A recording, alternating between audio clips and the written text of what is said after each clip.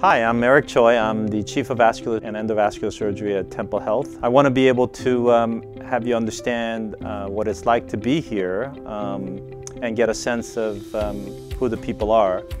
So I just want to welcome you and um, tell you that um, it will be an, uh, an, honor to have you uh, come and visit us, talk to you about the, uh, what you find on the video, and also um, have any exchange that uh, will be permitted.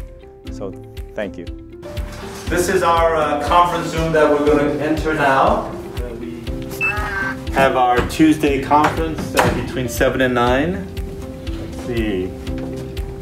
Get the screen down. We'll start with a uh, one hour didactic, uh, 7 to 8. We talk about a set curriculum, uh, everything from aneurysms all the way down to how to fix a clotted AV graft.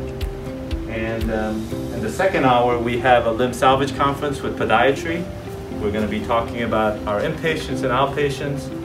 Following that, it's the angio conference where we talk about um, all the patients, again, not having to do with limb salvage, um, inpatients and outpatients. And usually we stop uh, our conference at 9 o'clock. Um, that's when our OR will start. So you are free of any OR duties until we're done with the conference. Frank, you have any? Yeah, alternating days we have a journal club, we have M&Ms, we have a research meeting, um, again all within the framework of 7 to 9 on Tuesday mornings. This is um, pretty uh, recently renovated clinic area where we actually have our own area. Um, it's on the left side of the clinic. Have um, six rooms available to us so that we can see our patients. We're going to go across the, uh, the hall where we have, as I said, all the uh, pre-op testing. This is our, as uh, Dr. Schmieder said, our typical um, vascular lab. Nicole is going to say hi to you. Hi. We're filming for all the new applicants. Okay. Be, you will be involved in a lot of the uh, evaluation. Uh, that's part of your curriculum, so you get to learn how to use the vascular lab. So this is the, um, the seventh floor, our um, Temple Heart and Vascular Pavilion, where we have all of our patients. We're gonna come through now. So this is 7 East, 7 West. 7 East is where we have our vascular patients.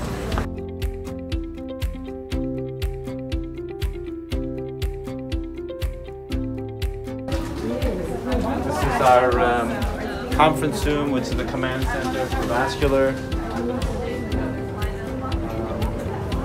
and all this area is basically where we are able to um, manage all of our patients.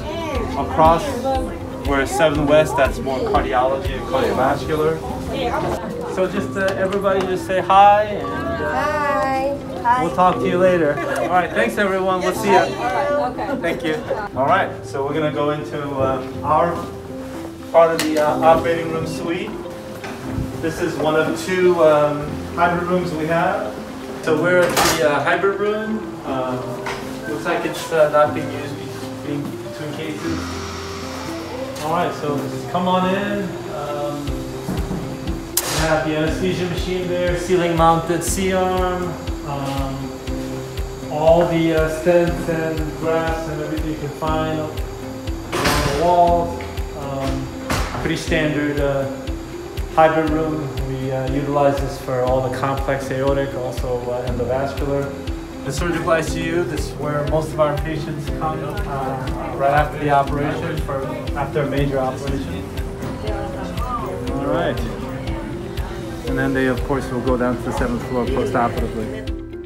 I want to also uh, get a chance to introduce uh, what the rotation will be like. We take one fellow a year, which of course is a two-year fellowship. Um, we have two um, main rotations, one at Temple, Main, uh, which is in North Philadelphia, and uh, Jeanes Hospital slash uh, Holy Redeemer Hospital slash um, Fox Chase. Um, that's all in the northeast area, about five miles away from the main campus. For the first year, um, when you are a fellow, you'll be spending about nine months out of the year um, over at the secondary campus where you'll be exposed to uh, community care, uh, cancer care, a lot of bread and butter. And then your three months out of your four, uh, first year, you'll be over at Temple. In that corresponding time, uh, the second year fellow will be at Temple um, University Hospital nine out of 12 months, and out of three months, you'll be open, over on the secondary campus. So um, that sort of an exchange allows uh, the separation of fellows and, um, and no real conflicts, if you can imagine that.